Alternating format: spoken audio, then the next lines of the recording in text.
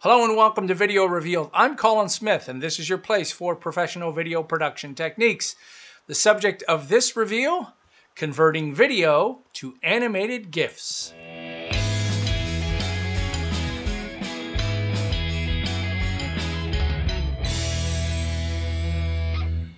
Well, here we are in 2015 and I can't believe I'm still talking about animated GIFs. In fact, because they're now supported uh, on uh, Facebook, uh, they seem to have exploded yet again. And I can remember in the 90s cutting bytes off of uh, the size of GIFs to try to make them work on primitive websites. Oh boy.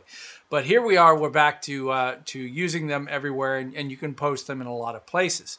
The cool thing about um, making them out of Premiere Pro, and that's the tool we're going to use, is it's very easy. It's actually built in. You can export out of uh, Photoshop also, but you know what? Even if you've got something in Photoshop and it's animated, I'd bring it over here into uh, Premiere Pro. Let's go have a look.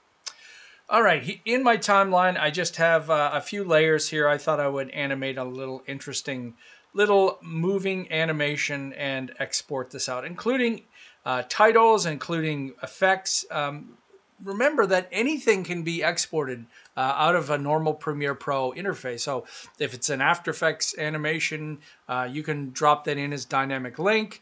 Um, if it's any kind of video that you just shot with filters, effects, whatever, any of those things can be exported. So here's our little animation. And I'm going to just export this out by going to the File menu, Export, and I could have also chosen Control M on Windows, Command M on the Mac. And when it opens up, in your format support up here, it may not already be on animated GIF. In, in fact, it'll probably be on something uh, like H.264. And you just click on the format options and animated GIF is right there. The preset that it starts with is 320, 240, 10 frames a second, but you can change anything that you want down here. For instance, audio is turned off because GIFs don't support audio. We can go into the effects, and although we can put image overlays and, and things like that, um, the only one I find useful is maybe going in here and turning on some of these um, lookup tables or Lumetri looks, anything that you, you may have uh, have loaded in here. So let me just grab a 70s look on this. Back in the video side of things, we've got the quality slider, and you know, you can just leave that sucker all the way up to 100. I mean, you're, not going to be exporting out giant HD uh, animated GIFs. If you are, they're going to be ginormous. I did, when I exported this one at 10 frames a second at 720 by 720, which is the size of the animation, it was 30 megabytes, which may not seem large in the video world, but in the image world, that's way too big. You want to get that smaller. Uh, mine is square, so I'm just going to change mine to 320 by 320. And now you can see it gets all of my video in. You also have to make sure that these haven't been changed, like the field order. Uh, GIFs are progressive. They don't have interlacing, and they have square pixels if, if these got changed, and you can see right here, I've got black bars in the top and the bottom because that darn thing changed. Make sure I'm on square pixels. So progressive square pixels and a frame rate of, of whatever you want to choose here. I'm just going to do it on 10. People, you know, they expect GIFs to be less than great quality. Plus, you're going to save an enormous amount of space um, and, and uh, upload time and even preview time uh, because once you put this in a, uh, a browser window, it has to, you know, play all of those frames. So make it simple. All right, I'm just going to uh, export this out.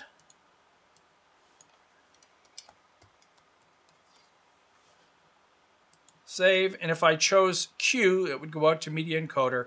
I'm just going to choose export because this is so ridiculously fast and small. So there we go. Export that, close the window.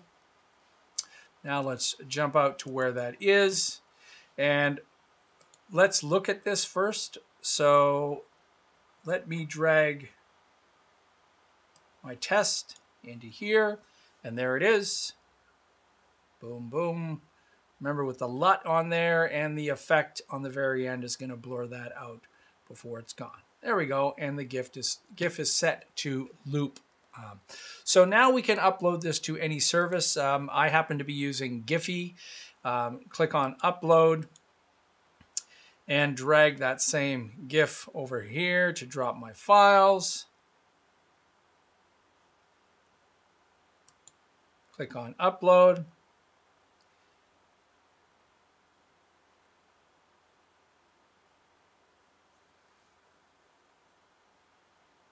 And there it is now on Giphy. And they give you a, a few buttons down here in the bottom left, Facebook, Twitter, uh, and the such. So if I want to paste this onto Facebook, I'll click in here, put it on my own timeline. I'll just call this GIF test. Share that link. It's uploaded, and there it is pasted in my page, ready to go.